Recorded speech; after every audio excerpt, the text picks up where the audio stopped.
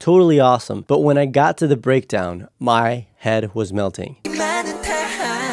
Just so awesome. One of my favorite tracks so far, if not my favorite. We will see. Hey guys, this is Andre. I'm a music producer from Florida, Florida man. And today I'm going to be reacting to BTS and their album BE. It's going to be a full album reaction, so make sure you punch the like button until it turns blue or black. Let me know what other reactions or reviews you want me to do, and I'll be sure to check them out. So the first track of the album is Life Goes On. This track starts off with some awesome percussive mouth sounds. It reminded me of Timbaland, which is a music producer that has been one of the top music producers in the past 20 years, really. And he did a lot of beatboxing, really famous songs with Justin Timberlake and many other artists. That style of mouth percussive sounds is very akin to him, so I really enjoy that in this song. There's also some retro elements like acoustic guitars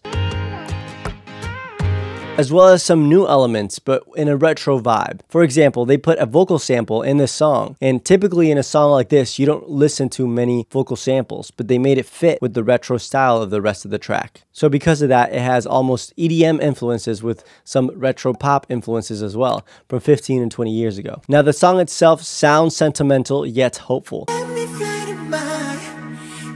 which is also what the lyrics talk about. So it's a very nice blend of the two. If you examine the lyrics, the lyrics say exactly what the song sounds like. So that's pretty cool. Now off to the next song, Fly to My Room. This song's title reminds me of Fly Me to the Moon, so I almost said Fly Me to the Moon, which is a Frank Sinatra or just an old song. Fly me to the moon. The chord progression of the song is really nice. It actually keeps the energy flowing throughout the whole song. There's also a lyric that says, killing me slowly. It's killing me slowly now. And there's a famous song from way back then that is called Killing Me Softly. Killing Make sure you listen to that song, Killing Me Softly. It's a really good song. But that lyric just reminds me that this album has that stamp of retro and just that stamp of classic attached to it. In this song, I love the R&B vibe. The drums are dry, meaning they don't have many effects, but they sound big. When you contrast that with the vocals that have a lot of effects on them, it kind of creates this nice harmony between the two, in which one is big and punchy and clear, and the other one has a lot of space and air to it. So it fills out the spectrum nicely. In the middle of the song, there is a trap beat that comes in, which actually doesn't sound bad even though the rest of the track isn't really like that. It actually blends in nicely. So it's just something that kind of sparks your ear and says, oh, this is a new section, but it doesn't sound out of place. In the end of the song, there are some choir style vocals. With everyone singing, it sounds like a big choir. I love that. This might be one of my favorite tracks of the whole album. Now next we have Blue and Gray. This is a song that almost everyone recommended that I listen to. Make sure you listen to it as well. When I first listened to the song, I was actually surprised at how many people enjoyed it, given that it's so soft and slow. But here are some elements about it that stood out to me. There are some very beautiful guitars. When you listen to the guitars, they're absolutely beautiful. RM's rap is very powerful. It actually adds so much energy even though it's a slow song. There are some vocal samples thrown in the song as well. This is something that you don't really hear in many slow songs and ballads of today. You don't hear many vocal samples which they used and implemented that. It's kind of their unique style into the song. They implement vocal samples in almost every song. The emotion in the music is very drawing. When you listen to it, you can almost tell what they're feeling. And when you read the lyrics, it also matches up perfectly well with what the song sounds like sonically. The next track is the skit or the interlude, so I'm not really gonna have much to say about that. the next track on the album is Telepathy.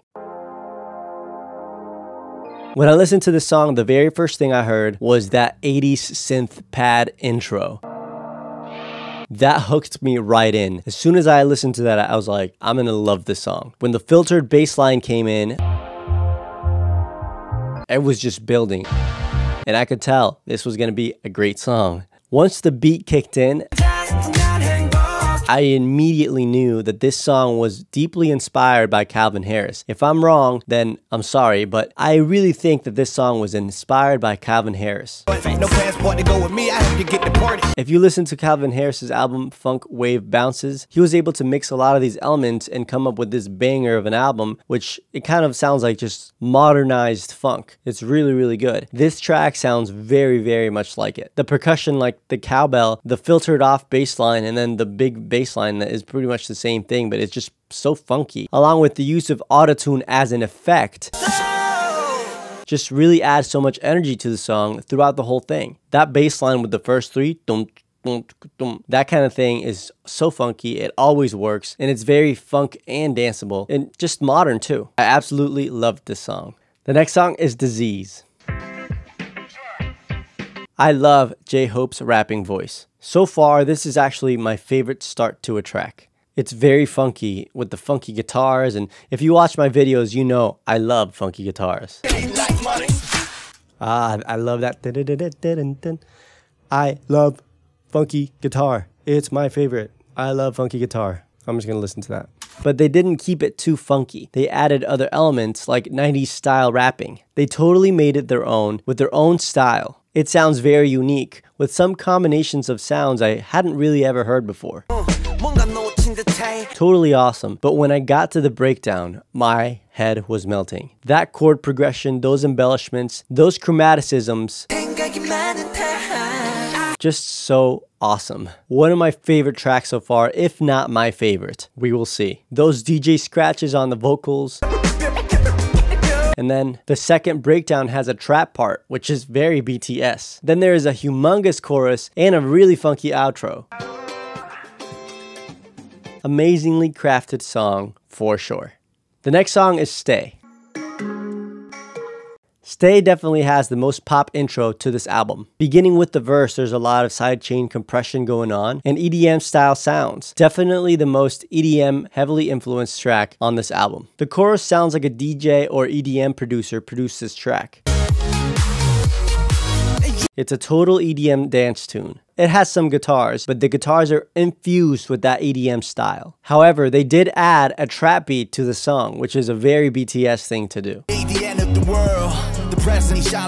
It adds more variety and really brings the track home. Now, the very last song is Dynamite. Obviously, I'd heard the song before because I've reacted to it.